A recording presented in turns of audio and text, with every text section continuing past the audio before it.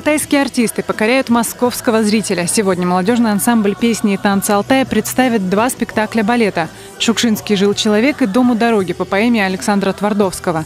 Сейчас наши артисты репетируют на сцене Малого театра. Концерт начнется в 19 часов по московскому времени. Накануне в Государственном Кремлевском дворце наши артисты уже представили алтайское творчество. Наш ансамбль выступил на Всероссийском фестивале народного искусства «Танцуй и пой, моя Россия». На этих кадрах они вместе со всеми участниками концерта исполняют гимн фестиваля. Наши артисты представили два номера. Вместе с Олегом Ивановым исполнили песню «Золотой Алтай». Также зал тепло принял хореографическую постановку «А у нас на селе».